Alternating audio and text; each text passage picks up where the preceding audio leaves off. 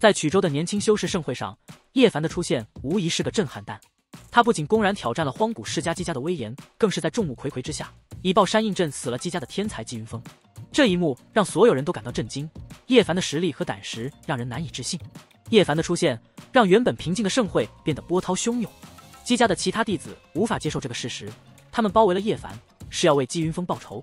战斗一触即发，姬云林愤怒出手，黑色的大手遮天蔽日向叶凡压去。叶凡毫不畏惧，同样打出大手印，两只漆黑的大手在空中激烈碰撞，散发出毁灭性的力量。这场战斗让在场的所有人都感到恐惧，不少修士受到了波及，甚至有人因此受伤。叶凡的实力让所有人都感到震惊，他不仅能够使用姬家的绝学，还能将其发挥得淋漓尽致。他的战斗技巧和对秘法的掌握，让在场的所有人都感到敬畏。随着战斗的进行，叶凡逐渐占据了上风，他的虚空大手印和爆山印让姬云林难以抵挡。最终，在一次激烈的碰撞中，姬云林不敌叶凡，身受重伤。叶凡的实力和勇气让他在北域的名声更加响亮。然而，战斗并未就此结束，瑶光圣地的弟子也加入了战斗。他们试图帮助姬云林，但叶凡并没有退缩。他以一己之力对抗五大年轻强者，展现出了惊人的战斗力。叶凡的天赋和实力让他在战斗中如鱼得水，即使是面对高他一个境界的对手，他也毫不畏惧。叶凡站在断山上。他的顶散发着古朴而强大的气息，仿佛能镇压一切。姬云林和瑶光圣地的弟子们联手对抗他，但叶凡的实力太过惊人，他的顶坚不可摧，他的神识攻击更是致命。叶凡的顶轻轻一震，玄黄之气一出，将瑶光女弟子的身体压碎，化为血雾。接着，他再次催动大顶，玄黄之气冲向四方，将冲过来的修士全部化为齑粉。姬云林虽然拼命抵抗，但最终还是不敌叶凡，他的玉印撞向大顶，却被轻易粉碎。叶凡的鼎就像是不朽之物，无人能撼动。最终，叶凡以一顶破万法，将所有敌手全部击败。大战尘埃落定，姬家与瑶光圣地的八位真传弟子命丧叶凡之手。这场战斗注定在北域掀起巨浪。叶凡站在断山上，四周的修士纷纷退避。叶凡以一己之力对抗两大势力的精英弟子，最终取得了胜利。叶凡降落在断山上，面对曲州的年轻修士，他微微一笑，开口说道：“诸位，还是散去吧。”他的声音平静，但却透着不容置疑的威严。叶凡知道，这场战斗的消息一旦传开，他在北域的日子将不再平静。但他并没有表现出任何的畏惧，反而显得更加从容。他的目标明确，他要去寻找第四大寇青蛟王的隐居地，那里或许有他需要的答案。叶凡的行动引起了众人的注意，他的鼎成为了众人关注的焦点。许多人想要抢夺这宗圣物，但却不敢轻举妄动。叶凡的实力和鼎的力量，让他们望而却步。叶凡并不在意周围的目光。他继续前行，没有人能够阻挡他的去路。他来到了一艘玉舟前，这是姬家与瑶光弟子驾驭而来的，是专门用来飞空的灵宝。叶凡大袖一卷，将玉舟收入手中，准备继续前行。然而，叶凡知道他的行踪已经暴露，姬家和瑶光圣地的强者很快就会追来。他必须尽快离开朝阳城，前往青蛟王的隐居地，在那里，他或许能够找到一些线索，为他接下来的行动提供帮助。叶凡的行动迅速而果断，他不再停留。而是展开老疯子的步伐，留下一道虚影，冲向山脉深处。他知道，只有在那里，他才真正的安全。叶凡在曲州年轻修士的盛会上，当着众人的面击杀了姬家与瑶光的八名真传弟子。这一行为如同抛出了一颗重磅炸弹，激起了巨大的波澜。消息迅速传开，曲州风云变色，人心惶惶。姬家派出众多强者，甚至连神体姬皓月也亲临现场，瑶光圣子也现身于此。这两位东荒年轻一代的巅峰人物。竟然为了叶凡一人而同时出现在曲州，这自然引起了巨大的震动。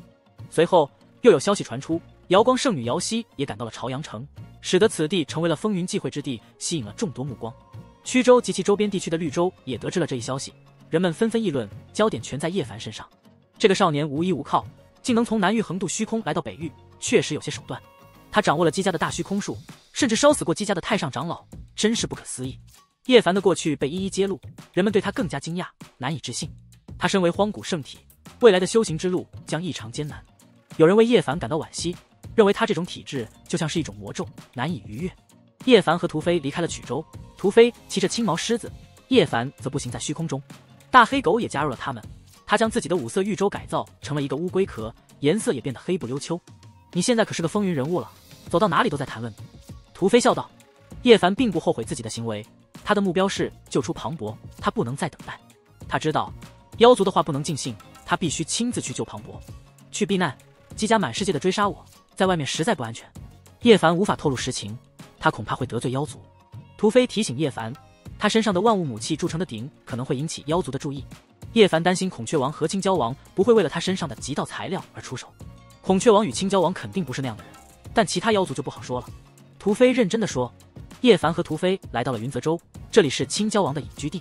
他们通过一个由屠飞爷爷屠天留下的玉佩，进入了一个神秘的空间，古之圣贤开创出的空间。大黑狗惊叹。他们来到了青蛟王的隐居地，屠飞介绍叶凡给青衣小蛟王。青衣小蛟王对叶凡表示欢迎，并提到了另一位贵客金翅小鹏王。金翅小鹏王对叶凡表示出了强烈的兴趣，他想要叶凡身上的玄黄元根。他的态度霸道，甚至威胁叶凡，如果不交出玄黄元根，他将亲自来取。叶凡感受到了死亡的威胁，他的神识随时准备冲出。青衣小蛟王试图缓和局势，但金翅小鹏王的态度依然强硬。我要定了玄黄元根！金翅小鹏王冷冷地说。屠飞愤怒，叶凡也准备好了反击。金翅小鹏王的霸道和实力，让在场的所有人都感到了压力。他无视青衣小蛟王的阻拦，直接向叶凡索要玄黄元根，甚至不惜以生命为代价。叶凡面对金翅小鹏王的威胁，没有任何退让。他祭出万物母器铸成的鼎。准备迎战，青衣小蛟王和屠飞也加入了战斗，试图阻止金翅小鹏王的暴行。但金翅小鹏王的力量太过强大，他们两人的联手也难以抵挡。金翅小鹏王展现出了他的速度和力量，他的天蓬身法独步天下，几乎无人能够追上。他的攻击让叶凡感到了巨大的压力，但叶凡并没有放弃，他利用神识攻击试图反击。叶凡的神识攻击虽然没有击中金翅小鹏王，但却让他失去了一缕金发，这让金翅小鹏王感到了愤怒，他的杀意更加强烈。但他也意识到，在青衣小蛟王的宫殿中杀人会引起麻烦，所以他决定离开。金翅小鹏王的离开并没有让局势得到缓解，他的威胁和决心让叶凡感到了更大的危机。青衣小蛟王也意识到了这一点，所以他叫下人请来颜如玉小姐，希望能有办法。屠飞愤怒的提议：为什么不请出青蛟王来对付金翅小鹏王？但青衣小蛟王知道这是不可能的。金翅小鹏王背后有一个极其强大的祖先，号称鹏王，是妖族的巨跛，他的战力无敌。天蓬极速更是无人能及，叶凡感到极度憋屈，他渴望立刻提升到四级秘境，以便有足够的实力对抗金翅小鹏王。这只鹏鸟的嚣张态度让叶凡非常愤怒，他从未遇到过如此狂妄的人。金翅小鹏王的实力确实强大，他位列四级秘境，修为深不可测，足以与瑶光圣子相提并论。在场的妖修劝叶凡忍耐，因为年轻一代中没有人是他的对手，即使是老辈人物中有人能杀他，也不敢出手，因为鹏王的威力足以引发滔天大祸。除非愤怒的咒骂金翅小鹏王，而叶凡则感到无奈。他意识到，除非他突破到四级秘境，否则很难与金翅小鹏王的速度相抗衡。老疯子当年就是凭借他的步伐追上了天蓬族的王者。金翅小鹏王在宫阙外等待叶凡，他的声音传遍整个宫殿，让叶凡感到巨大的压力。叶凡站起身，走到大殿中央，捡起了金翅小鹏王的一缕金发，将其收了起来。颜如玉的到来让在场的所有人都感到惊艳，她的美丽和气质。让一切都显得黯淡无光。屠飞热情地迎接她，并夸赞她的美丽。颜如玉对叶凡表示祝贺，但也提醒他，他身上携带的圣物会引来他人的觊觎。青衣小蛟王请求颜如玉帮助他说服金翅小鹏王。颜如玉表示他会尝试。金翅小鹏王在山巅上与颜如玉对峙，他坚持要夺取叶凡的玄黄元根，并说这是天意。颜如玉则坚定地站在叶凡这边，他不允许金翅小鹏王伤害他的朋友。金翅小鹏王的态度非常坚决。他认为自己将成为妖帝，而颜如玉将成为妖后。他试图说服颜如玉，但颜如玉不为所动。金翅小鹏王最终决定对叶凡出手，但颜如玉用一朵晶莹的莲花挡住了他的攻击。颜如玉提出，如果金翅小鹏王真的想成为大帝，那么他应该接受挑战，与叶凡一战。他甚至提出将金翅小鹏王的修为压制到道宫两重天，以此来测试他是否有这样的资质。这让在场的所有人都感到震惊，因为颜如玉拥有极道武器。这是妖族大帝留下的圣兵，拥有无法抵抗的力量。金翅小鹏王面对颜如玉的挑战，他的态度依然狂妄。他声称自己将成为大帝，而叶凡这样的荒古废体对他来说没有任何价值。他的话语中充满了对叶凡的轻视，这让屠飞非常愤怒。但叶凡知道，他必须通过这场战斗来证明自己的价值。